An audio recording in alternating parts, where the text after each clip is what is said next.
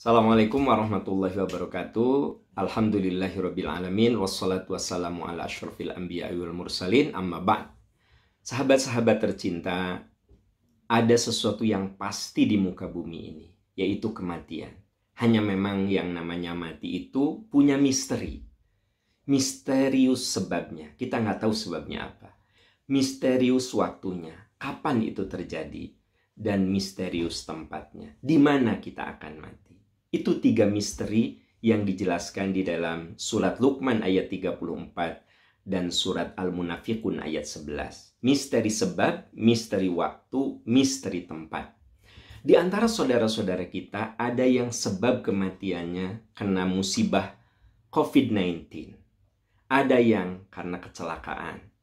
Kita tidak tahu sebab kematian seseorang itu apa. Yang jelas itu qadarullah. Ma'asoba min musibatin tidak ada musibah yang menimpa kecuali atas izin Allah. Nah, sahabat-sahabat sekalian, tugas kita adalah berusaha selalu meringankan siapa pun, apalagi yang kena musibah. Man yassaro ala mu'sirin yassarallahu fid dunya wal akhirah. Siapa yang memberikan kemudahan kepada orang lain, Allah permudah dia dunia dan akhirat. Wallahu fi aunil abdi maka al abdu fi auni akhi. Allah pasti menolong hambanya selama si hamba itu menolong orang lain. Saudara-saudara kita yang wafat karena COVID-19 itu ditangani mengikuti protokol keselamatan dan kesehatan. Kain kafannya khusus, kemudian disterilkan, dimasukkan ke dalam peti yang juga sudah disterilkan. Sehingga ketika dikuburkan, insya Allah itu sudah aman, tidak mungkin menyebarkan penyakit.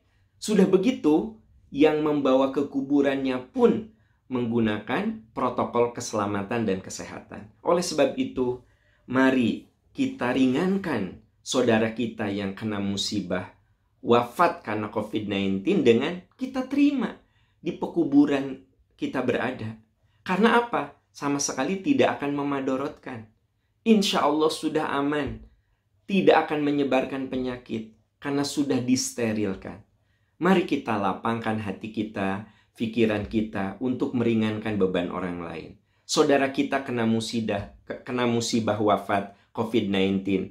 Boleh jadi besok lusa kita pun sama.